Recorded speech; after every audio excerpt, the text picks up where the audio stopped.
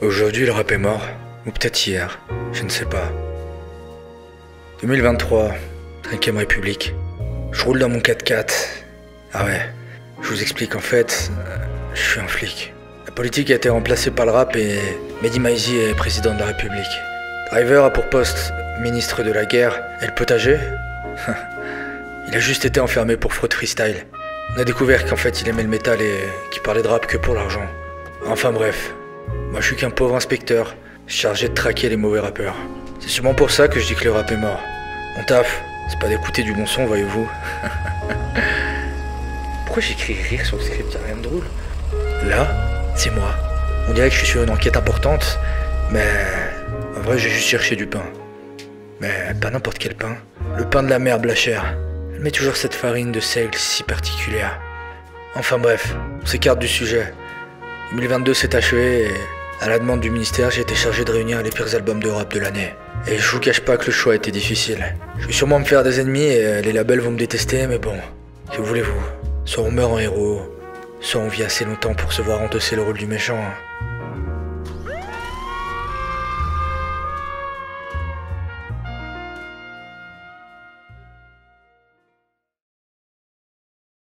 La nuit je fais ma ronde, je roule, je rôde. Tous les numéros 1 j'en fais des numéros 2 Car le plus grand des bandits peut être le pire des rappeurs. Du rap pour les connaisseurs, pas pour les gros lécheurs. Salut à tous, c'est Yanis pour un nouvel épisode du rap en mieux. Ça y est, enfin on y est, j'ai galéré. Il est enfin là, le flop 10 de 2022 des pires albums de l'année. Juste comme l'année dernière, j'ai consacré la place 10 à 6 pour les albums qui étaient plutôt euh, des déceptions. Et à partir de la place 5, on va bien des hacks. Vous inquiétez pas, je suis arrivé chargé avec le pire de ce que j'ai pu entendre cette année et je vous jure, il y avait des pépites. Une petite seconde avant de commencer, euh, pour ceux qui savent pas, tous les jeudis soirs à 21h30, je live sur Twitch. Euh, on écoute euh, des sons que vous faites, que vous avez fait. On commente euh, le meilleur et le pire de la rap. On écoute les sorties à minuit. On fait plein de trucs. C'est vraiment chill. On est de plus en plus nombreux. Venez m'aider à conquérir le Twitch game. Je vous mets le lien en description juste ici. Et que la bagarre commence. hein.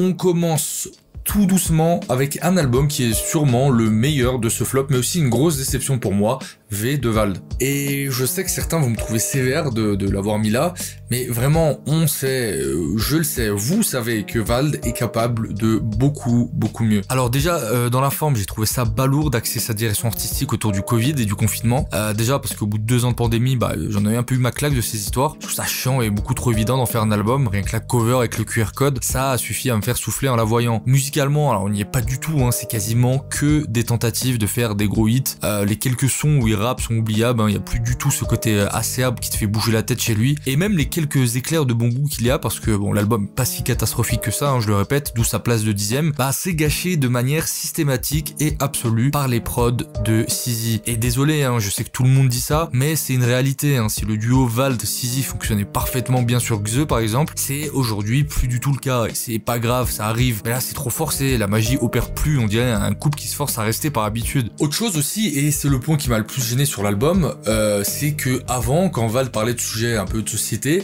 je trouvais euh, hyper précis, euh, subtil, ça tombait jamais dans la pseudo-réflexion nulle. Je pense à des journaux perso 2 par exemple, ou d'autres. Là c'est mauvais, on comprend pas trop où il veut en venir, c'est flou. Tout ce qu'il y avait de grinçant avant, de culotté, de, de singulier dans sa musique, bah ça a juste laissé place à une formule faussement subversive, mais surtout super lisse et chiant. D'ailleurs c'est pas moi qui le dis, hein, c'est Val lui-même en décembre dernier à la sortie de la réédition, qui aura eu l'honnêteté de dire que du rap sur VV5, aucune tentative ratée de single pop urbaine. Bon bref, euh, le tweet parle de lui-même, hein, mais je comprendrai vraiment jamais ce genre d'artiste dont l'objectif c'est que de faire du mainstream, alors que c'est justement leur euh, originalité qui ont fait leur succès. Un hit comme Désaccordé par exemple, je trouve c'est pas du tout conventionnel comme hit. Alors pourquoi faire ça? Bref, j'ai pas aimé du tout. Vald, euh, frérot, ressaisis-toi et surtout ne te ressaisis pas. Ressaisis, ressaisis le, beatmaker. Putain, je flop dans mon flop, ça devient métal. Ouais, euh, je sais, je sais, je sais. Euh, mais que voulez-vous? On est obligé de passer par là. Va falloir que j'en parle. On va passer ce moment ensemble. tout va bien se passer. Comme beaucoup de monde ici, je suppose, j'étais super hype à l'annonce d'un nouveau projet de SCH. Surtout pour la première fois depuis A7, on parlait non pas d'un album, mais d'une mixtape. Sur le papier, j'avais vraiment hâte d'écouter ce qu'il allait nous proposer. Évidemment, vous en doutez, hein, si j'en parle là, j'ai été déçu, comme d'habitude euh, avec SCH, hein, même dans le mauvais, il y a du bon toujours, mais c'est pour moi le plus gros défaut de l'album. C'est une accumulation de moments où on se dit ah là c'est bien et en fait euh, non c'est pas si bien que ça et c'est pas si cool. Pourtant le projet est quasiment et c'est avec cette observation que je me suis dit que Autobahn était peut-être une réponse de SCH à une partie de son public qui lui en avait voulu de faire de la zumba et de ne pas lâcher son flot de bande organisée. Sauf que prouver quelque c'est un peu se donner tort à soi-même. Qu'on soit bien clair, oui, Autobahn est une prise de risque. Je pense euh, que l'idée, c'était juste de prendre un peu le rap marseillais des années 2000 et de le remettre euh, un peu au goût du jour façon sauce SCH. Mais prendre des risques, ça veut pas dire que c'est bien. D'ailleurs, c'est vraiment à la mode en ce moment les gros rappeurs qui sortent des projets qui ont tout d'un album. Mais non, c'est pas un album, c'est une mixtape. Alors j'entends, hein, c'est sûrement une directive du label pour amortir la prise de risque en cas de mauvaise réception du projet, pas de souci.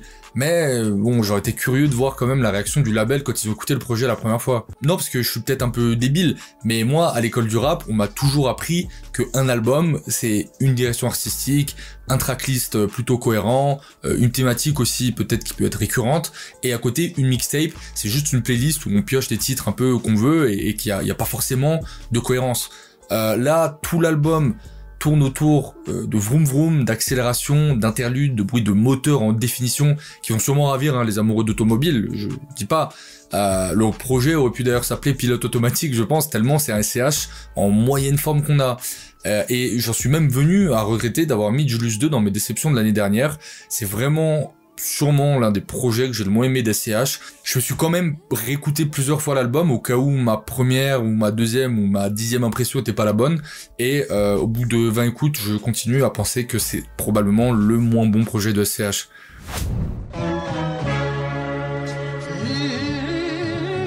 Bon, euh, là, on va passer euh, rapidement hein, pour celui-là. Pas grand-chose à dire, si ce n'est que euh, c'est très très très mauvaise réédition, qui n'a absolument aucune utilité, si ce n'est d'illustrer en fait la saison 2 du documentaire de son frère, où on voit qu'il a plus d'inspi, qu'il a perdu un peu le truc, etc. Documentaire que j'ai beaucoup aimé, hein. Mais entre ça, le marketing qui a été mis en place avec la vente de ses albums jusqu'à créer une énième réédition euh, en vinyle, édition spéciale avec des poils de cul blancs d'Orelsan à l'intérieur, il y en a que trois, attention. Euh, ça va, et toutes les difficultés qu'il a eu euh, pour avoir euh, de l'inspiration à la sortie de Civilisation, je me dis que peut-être, c'est possible, il y en a qui vont se fâcher, peut-être que Orelsan n'a plus grand chose à dire et que pour la dernière il a décidé de saigner l'industrie du disque pour assurer sa retraite sans trop s'inquiéter. Mention honorable d'ailleurs au titre Minisan que j'ai adoré de fou mais le reste est euh, vraiment à jeter. Hein. D'ailleurs, lui-même le sait, je pense. Entre le énième son euh, gimmick à la basique sur OK Super. La voiture va très vite, ok. Ta montre coûte une blinde, super. Pourquoi t'es en retard, bâtard, bâtard t'es riche pour rien, super. Le xème son sur sa meuf euh, et sa relation, genre vraiment, je crois que je connais mieux sa relation que n'importe qui d'autre. C'est Poupette Kenza, le gars. Et moi, je suis une poupette, hein, parce que évidemment, j'écoute ce qu'il raconte. le titre à la France, qui est tellement, mais tellement mauvais que même Scred avec tout son talent, il a pas réussi à rattraper cette horreur. Ah la France, ah la la la la la la la France, ah la la la la, ah la France. Euh, je pense que c'est volontaire, mais ça n'empêche pas de me dire que si c'est son dernier projet, c'est peut-être un peu dommage de terminer là-dessus. Là aussi, petite déception de mon côté sur ce projet qui avait euh, bah, le potentiel pour proposer quelque chose d'intéressant, je trouve. Avec les feats entre Freeze et H22 qui marchaient plutôt bien jusqu'à présent, l'album n'est pas vraiment nul en fait, hein. c'est juste moyen. Quand je vous dis euh, moyen, c'est absolument moyen. H22 est moyen, les textes sont moyens, les, les prods de flemme sont moyennes. Cet album, c'est le Moyen Âge tellement tout est moyen. Il n'y a pas un moment, pas un son qui sort de l'ordinaire. J'ai quand même écouté l'album pour cette vidéo et je vous jure, le temps passait lentement. Je comptais les secondes, je vois pas comment on peut écouter cet album premier degré, à part si on est à la salle et qu'on n'est pas très concentré, ça peut passer. Je regrette pour le coup l'absence d'Osiris Jack qui a sorti nouvelle ère début 2022 et que j'ai pas mis dans mon top 10 euh, des albums de l'année, mais que j'ai énormément aimé. Bref, je vois que deux possibilités, soit Freeze a fait ce projet sous la menace, soit c'était pile à une période où Freeze a arrêté les substances illicites parce que vraiment, il a l'air tout timide, on dirait presque qu'il a pas envie de déranger l'ingestion au moment d'enregistrer. Un album très facilement oubliable, ce qui est bien dommage après l'immense succès de La Menace Fantôme.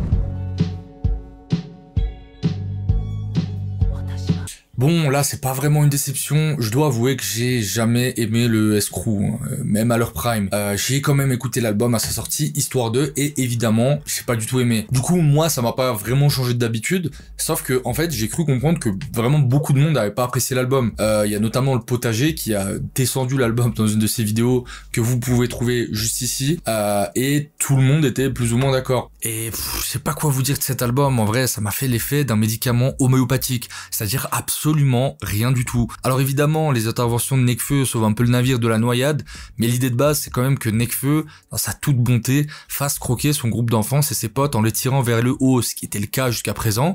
Mais là, c'est plutôt Seshab qui le tire vers le bas. hein. Il a tous les refrains, il carry le truc jusqu'à les dernières secondes, mais c'est pas suffisant. Pourtant, Hugues à la prod leur mâche le taf avec des instrus qui sont plutôt très bonnes, je dois l'avouer. Et les paroles, mais mon dieu, le, le niveau des, des lyrics est affligeant. Je sais pas si vous avez déjà fait gaffe à ce qu'il raconte. Déjà que Nekfeu, le côté ultra niais dans certaines de ses paroles, ça a toujours fait un peu souffler. Mais euh, c'est un super rappeur. Avec les trois autres zigotos, c'est pas la même. On aura l'occasion du coup d'entendre des trucs comme Si la paix s'arrime avec la guerre, je me perds dans le néant. ou encore La paix sur la guerre, elle n'a pas de plage. Euh, ok, Tolstoy, je comprends pas comment on peut écrire ça? On dirait une intelligence artificielle qui a essayé d'écrire des punchlines. C'est ahurissant. Euh, Bah tiens, attendez, je suis sûr que si on demande à ChatGPT de faire une punchline sur le thème de la guerre et de la paix, euh, je suis sûr qu'il va faire mieux. Bah, c'est mieux, je vous jure, premier degré, c'est mieux. Les gars, euh, ChatGPT a une meilleure plume que vous, c'est des facts, je suis désolé. Finalement, SZR n'est qu'une réunion entre trentenaires en souvenir du bon vieux temps et pour l'amour du rap. Et euh, une histoire de renouvellement euh, des droits Pôle emploi, un truc comme ça.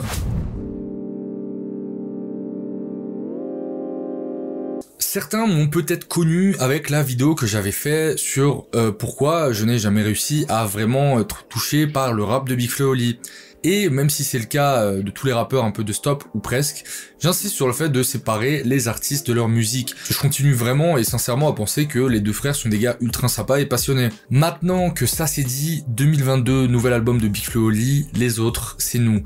Qu'est-ce que j'en ai pensé? En réalité, j'ai pas vraiment changé d'avis sur leur musique. Je trouve cependant que sur ce projet, il y a une nette amélioration sur la forme. Les prod rap sont plutôt bien.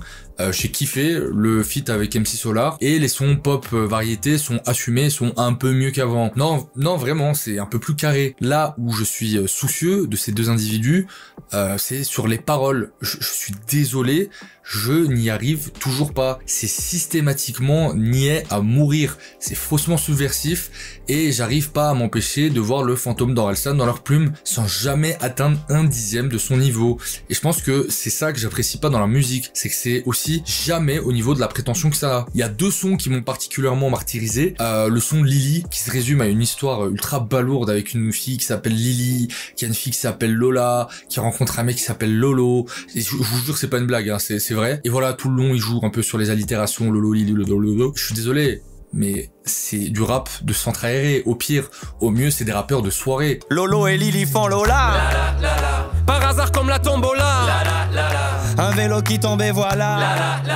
Tu sais pas quand l'amour est là. Et le titre qui m'a vraiment écorché les oreilles, c'est le son euh, Sacré Bordel, hein, qui a beaucoup fait parler, notamment sur Twitter, qui est un son sur l'identité française, mais genre cliché de banalité, en mode je suis d'origine algéro-argentine, j'aime pas la France, mais des fois je l'aime, et on leur a reproché de faire un peu du rap de centre-droite, euh, je suis pas forcément d'accord avec ça, c'est dans la manière d'amener le truc où pour moi ça va pas du tout. Même le son à la France de Orelsan, qui est une bouse musicale, euh, niveau parole, ça reste un peu marrant à certains moments. On garde quand même l'écriture d'Orelsan, comment il amène le truc en exploitant le cliché du blanc français de classe moyenne et en le tournant en dérision avec des phrases comme la Marseillaise et la drill euh, parlent de tuer des gens. Euh, là, ça va pas du tout. Chez Big Flo et Oli, il y a jamais ça. C'est c'est toujours pour toujours premier degré, euh, une accumulation de phrases de Monsieur Tout le Monde. Ça, ça fait vraiment euh, rap de PNJ. Elle est belle, ma France et son terroir. Même si c'est pas moi qu'elle voit dans le miroir. Je me dis qu'on pourrait le faire. Briser le plafond de verre. Au lieu de pointer les différences de chacun, se concentrer sur tout ce qu'on a en commun. Parties de Monopoly. Pleurer sur les sons de Johnny. Écouter les conseils des vieux. La Bretagne, même s'il pleut. D'ailleurs, dans mon top 10, j'ai parlé de l'album de Made in, Made in France, où là, par exemple, je trouve qu'il a vraiment bien traité le côté euh, je suis français, mais et leur fast flow, vraiment, faut qu'ils arrêtent. C'est plus possible en 2023. J'accepte plus ça en fait. On clash Ice MC quand il fait ça. Je vois pas pourquoi on doit accepter quand c'est Big Flo Oli. Ne pas faire petit, ne t'inquiète pas, il n'y a pas que des bâtards, il y a de l'art et de la beauté dans le tas de magnifiques palais, des pierres polies, des palettes de place pour tous les tableaux de maîtres dans les cathédrales et tous les plats dans les palaces. Tu vois, y a comme un décalage du meilleur ou bien du pire. Voilà de quoi on est capable. Je vois que tu deviens tout pâle pour le pire, ce n'est pas de ta faute. Tu... Et en fait, le souci, c'est qu'on peut pas me reprocher, comme pour Naps, qui n'a lui aucune prétention dans sa musique, euh, d'accepter que c'est du rap pas recherché. Là, ça se veut réfléchi, contrairement à Jules ou Naps. Et c'est encore pire quand un artiste a une prétention qu'il n'atteint à aucun moment, encore une fois. Et moi, j'en veux absolument pas à Big Flo Oli, j'en veux plutôt à leur public, qui leur ont fait croire qu'ils écrivaient bien, alors que c'est juste un enchaînement de banalités sans nom. Ils ont battu, euh, je sais pas, un boss dans un donjon et qui leur a donné la pierre de banalité. Félicitations, tu as hérité de la pierre de banalité. Euh... Waouh, merci. J'adore Drake. Mon film préféré, c'est Pulp Fiction. Alors, après, si je suis un peu honnête envers moi-même, euh, si ça se trouve, je les trouve moyens et normaux, parce que c'est moi qui suis pas normal. Genre, ah, peut-être que je suis un personnage ayant surconsommé la musique au point de plus avoir de sensibilité. Un être dont plaisir est devenu aride et qui ne trouve que satisfaction dans les niches et les bizarreries rapologiques dont je parle avant de remplir mon frigo et payer mon loyer. Mais je pense pas. Mais c'est pas ça, hein, rassurez-moi.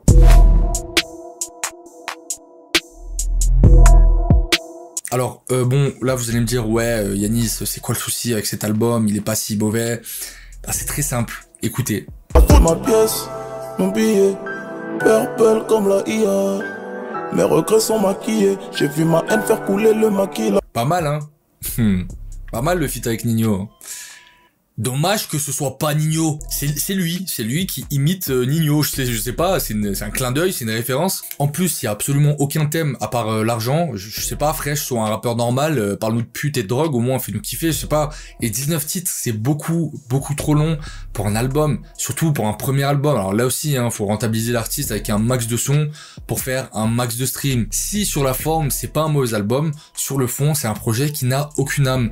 Et tout ça pour qu'à la fin, le jour où il aura plus de buzz, son label va probablement le lâcher comme une merde. Évidemment, je ne lui souhaite pas, loin de là, mais c'est souvent ce qui arrive avec les candidats télécrochés qui ont leur âme aspirée par les labels dès qu'ils sortent et après, dès qu'ils sont vidés, il n'y a plus rien et ils font une dépression. Enfin bref, on refait pas l'industrie, c'est vraiment dommage d'avoir galéré autant pour à la fin proposer un album aussi peu personnel.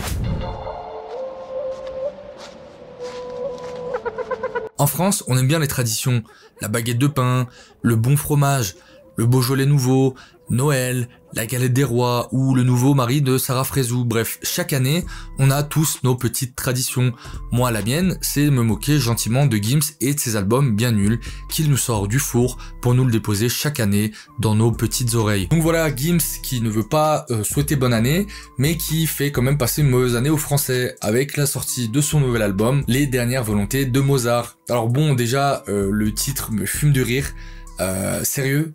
Les dernières volontés de Mozart.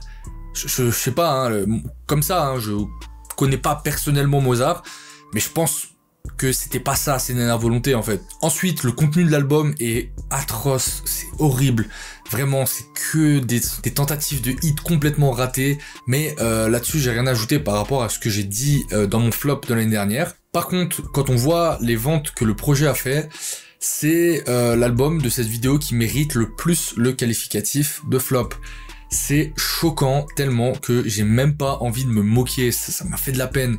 L'album a fait 12 000 ventes en première semaine, je sais pas si vous vous rendez compte du niveau intersidéral du flop.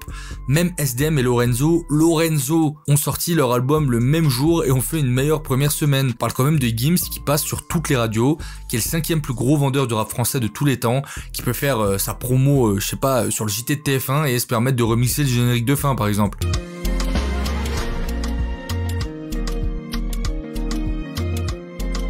Semaines après, pensez pas que ça s'est stabilisé, hein. Non, hein, The Flop Must Go On. Avec une cinquième semaine à 1900 ventes. C'est calamiteux. Dites-vous que ça rembourse même pas sa veste de Couples. Il devait être choqué du flop. Même son équipe devait être chopée du flop. Même Mozart est choqué du flop. Après, il l'a cherché, hein. L'album sans le réchauffer comme pas possible. Il y a même sur le titre maintenant, euh, dans lequel il s'est lancé dans une pâle copie de ce que peut faire The Weeknd en ce moment. C'est vraiment affligeant.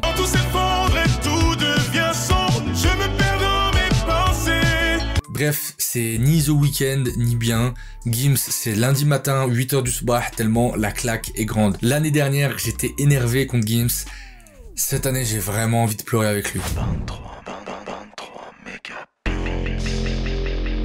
euh, bon, je veux pas du tout faire de la pub à cet individu, donc par souci éthique, euh, j'appellerai ce rappeur KB666 et son album, on va l'appeler le projet Blue Bead. Et euh, puis de toute façon, quelqu'un va dire son nom dans les commentaires, on s'en bat les couilles. Cro Blanc, euh, et son projet Héritage 1. Cro-Blanc est un rappeur pas très connu, si ce n'est que c'est un rappeur connu pour être d'extrême droite euh, et qui exerce maintenant depuis pas mal d'années en tant qu'activiste pour des groupes euh, identitaires. Mais ça fait quelques années qu'il rappe et cette année, il sort un album Héritage 1. Et le mec réunit à lui seul un niveau de connerie abyssal. Vous prenez le facho réac de base, il remplit tous les critères, c'est hallucinant. Il était sué, tu sais de mots, je voudrais rapper avec des chiffres, t'es sur YouTube, à la radio, c'est que t'as jamais vexé les... Suis allergique aux planques allergies, ils passent leur temps à nier l'évidence, seuls les aveugles contestent le grand remplacement de la France. Petit blanc sert de souffre-douleur pendant que leurs mains sont tendues pour toutes couleurs. Petit blanc t'es solo quand tu pleures. Pourquoi c'est eux qui ont le monopole du cœur? Et attendez, c'est un vrai album de rap avec des prods de rap, des rappeurs en featuring, etc. Qui sont ces gens? Il y a un écosystème de réactionnaires, racistes et complotistes euh, qui kiffent le rap. Et quand je vous disais c'est un vrai album de rap, vraiment, je, je rigolais pas. Par exemple, vous voyez les, les morceaux de films ou, d'extraits de discours qu'on retrouve un peu euh, dans les morceaux en intro ou en outro de, de, de musique de rap, euh, par la Youssoufa ou Nesbill à l'époque. Bah lui aussi fait ça mais il le sample euh, avec des discours un peu bizarres. Les Français sont pas racistes. En fait, le racisme dont on parle, c'est avec les Arabes qu'il y a un problème, et puis les Noirs. Il y en a pas avec les Portugais, alors que c'est eux les plus nombreux. Il y a tout le bordel. Dites-moi vous voulez quoi, dites-moi vous aimez quoi dans le rap, et je vous le ressors de cet album en version extrême droite. Vous aimez bien Nekfeu? Allez, pas de soucis, j'ai ça. Paris est entouré de barbares qui voudraient que tu laisses ta place. Qu'est-ce pas Compris la Gestapo. Madame, on dit que t'es facho. Est-ce qu'il y a des fans de Caris dans la salle? De succursale nous ont préparé un futur sale. Je refuse de payer l'URSAF, l'impôt kryptonite de Supervap. Nos passaran, appelle-moi Gandalf, ça rémique jusqu'en Ouganda. Il y a même un son avec une meuf qui chante, ou plutôt qui miaule, que la cancel culture les a rongés. Vivre ensemble, ils font semblant d'y croire. Mais dans la rue, venu le soir, ils se mettent à trembler. Change de trottoir quand ils croisent la jeunesse des quartiers, comme par hasard je comprends pas trop là, je suis, censé chialer. Il y a vraiment des gens, ils écoutent ça et ils sont envahis par les émotions. Ceci étant, euh, je dois être honnête, si je fais totale abstraction du discours, euh, il y a certains moments, c'est vrai, où euh, c'est de la merde. En fait, il y a aucun moment hein, où c'est bien, mais euh, vraiment le discours tenu est terrifiant. Je me demande ce qui pousse ces gens à faire du rap. Euh, particulièrement du rap. Hein. C'est comme si un artiste faisait, je sais pas, du reggae pour tenir des discours anti-cannabis.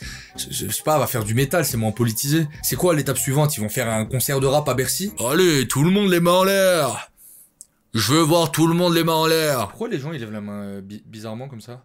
Et au pire, si vraiment tu détestes les Noirs et les Arabes, euh, je vois pas pourquoi tirer en faire une musique.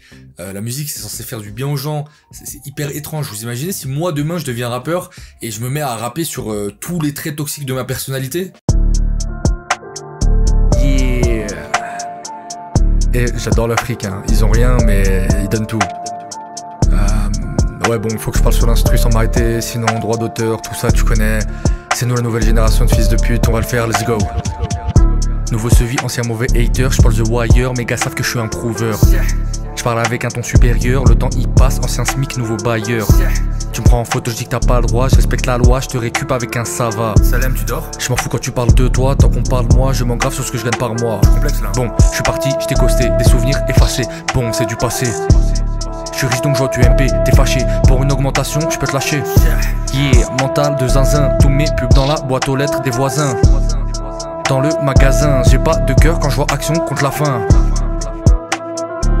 Non mais euh, en, en, vrai, quand tu réfléchis, Zemmour il a pas totalement tort.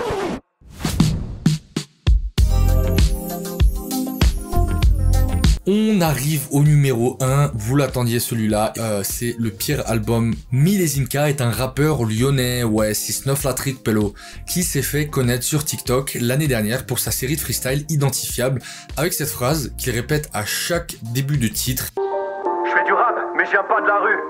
Allez, c'est trop pour moi. Ouais, j'arrête. Alors déjà, est-ce que vraiment je dois rebondir sur sa phrase? Je fais du rap, mais je viens pas de la rue. Je, pense que non, hein. On va s'arrêter là. Mais bon, concernant son album, je dois être honnête avec vous. euh, J'en ai écouté des albums de rap. J'ai vu des rappeurs bons, j'ai vu des rappeurs moins bons. On a parlé de mauvais albums déjà. Mais là, je vous garantis, sans exagérer, que c'est ce qu'il y a de pire que j'ai pu entendre en rap depuis que j'en écoute. Donc euh, pareil que Cro-Blanc, hein, le mec est un colossal réactionnaire euh, pro-Rassemblement National ou Zemmour, je sais pas. Sauf que lui, c'est un peu plus subtil si vous voulez. Euh, il dit pas par exemple les termes, hein, les mots euh, arabe et noir sont remplacés par euh, vendeur de shit et euh, chômeur euh, RSA qui roule en Mercedes. Mais euh, le pire, c'est qu'en plus d'avoir un discours qui exploite difficilement les quelques points de quotient intellectuel qu'il a, c'est un très très mauvais rappeur. C'est le rap vu par quelqu'un qui déteste le rap. Surfant sur le succès, il ne sort pas un, mais bien deux albums. Notons qu'il est quand même productif. Ces sons se résument à des vieux concepts complètement nuls, genre euh, un son sur l'école où il donne des matières qu'il enseignerait s'il était au ministère de l'éducation, vu que apparemment euh, d'après lui à l'école on apprend à nos enfants à être gays et à détester la France, ou le titre euh, président dans lequel il explique ce qu'il ferait s'il était président. Quoi Une milice dans la rue, des gars costauds comme dans 300. Le jugement se fera sur place, on n'attendra pas 3 ans. Le sujet de l'école sera sur la table lundi à l'Elysée, qu'on enseigne l'amour de la France et ça de la primaire au lycée.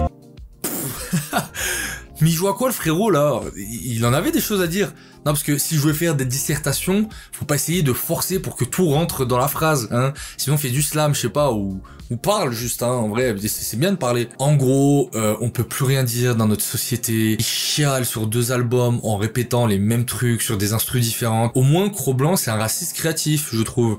Euh, hein, il y a, il y, a, il y a quelque chose, il y a, voilà, il a fait un peu de recherche en termes de, de, de, thématiques, frérot. Euh, Cro-Blanc est un meilleur raciste que toi, euh. Je suis désolé, hein, faut dire les choses à un moment. De plus, avec sa coupe de Tintin, il nous fait le bandeur du Moyen-Âge. Mais ces gens, je n'en peux plus, par pitié. Ils pensent quoi? Que s'il avait vécu au Moyen-Âge, il serait sur un cheval blanc à faire des croisades?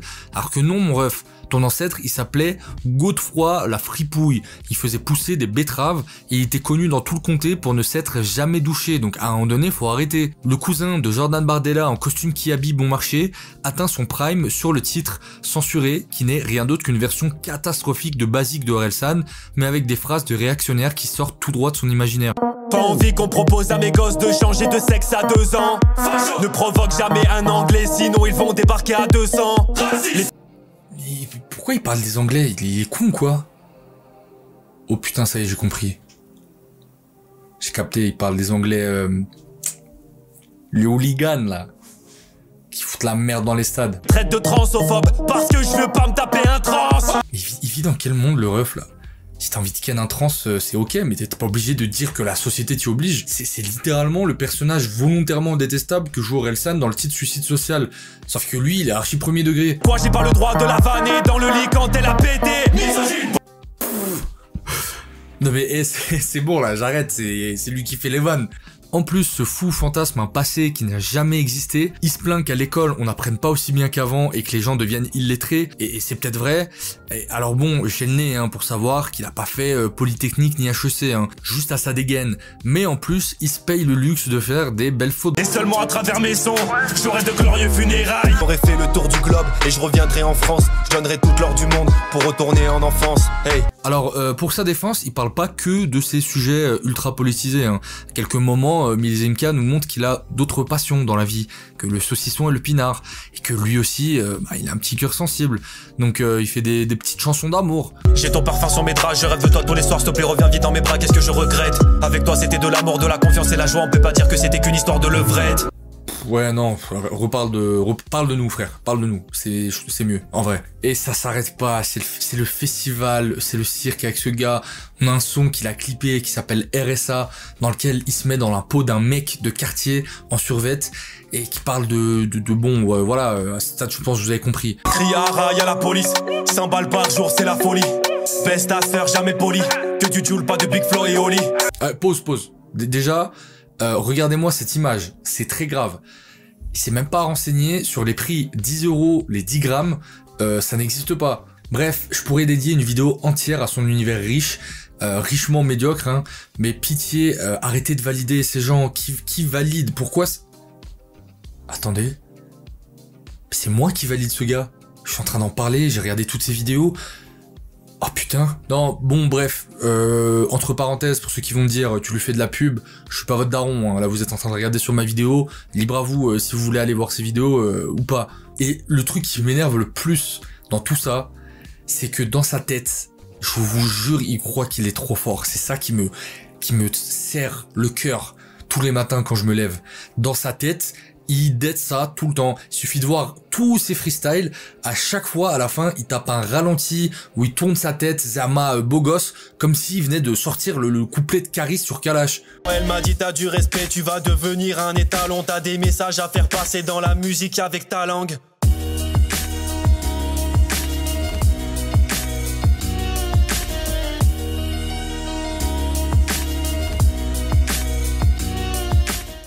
C'est tellement grave de débiter autant de conneries comme ça que ça en devient un exploit. Si vous prenez deux singes, allez je suis gentil, trois singes, on en rajoute un, vous leur donnez des lettres en pièces et vous les laissez jouer avec, bah je suis sûr qu'en une journée, avec le hasard, ils arriveraient à construire une phrase qui soit pas trop bête à un moment lui n'y arrive pas. Chaque mot, chaque note de l'instrumental, chaque tentative de punchline et chaque poussillon qui sort de sa bouche quand il enregistre me donne des frissons de malaise. J'ai découvert que j'avais des frissons dans des endroits de mon corps que je ne connaissais pas. Il est mauvais tant sur le fond, qui est nauséabond, que la forme qui est ringarde et peu inspirée. Je vous jure, c'est plus millésime c'est malésime tellement j'en ai fait des cauchemars.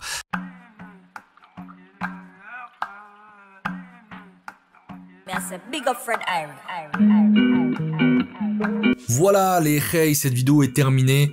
Euh, j'espère que ça vous a plu parce que bon, si vous n'avez pas de nouvelles de moi d'ici euh, les prochaines semaines, euh, c'est que un des rappeurs n'a pas trop apprécié ma critique. Pourtant, on a le droit. Alors évidemment, c'est du second degré, hein, à moitié. je force le trait volontairement. Tous les artistes ou presque méritent qu'on les respecte pour ne serait-ce qu'avoir pris le micro une fois dans leur vie et je sais à quel point c'est pas facile. Sachez aussi qu'il y a un projet dont je voulais vous parler, c'est la tape de 23 Megabits qui est un collectif de différents artistes, clippers, beatmakers, rappeurs. Tous les matins je dis merci à Dieu avant de faire chose qu'elle. Le charbon, le charbon du matin au soir, je prends pas de pause déj. Et dedans, il y a Mario Roudil que vous connaissez peut-être ou pas et qui a réalisé les intros fiction qu'on fait ces derniers temps. C'est lui qui a réalisé toute la tape, il y a des guests comme Dime ou Chronomusic et c'est vraiment un super projet, je le pense sincèrement. Regardez-moi juste la cover de la tape. Bref, il y a un énorme taf qui est fait et Mario c'est un peu le troisième membre de la chaîne avec Abdel et moi. Donc n'hésitez pas à pousser le projet, faites comme si c'était le mien. J'espère que vous allez kiffer, je vous mets un petit lien en description. En attendant, on se retrouve très rapidement, prenez soin de vous Ciao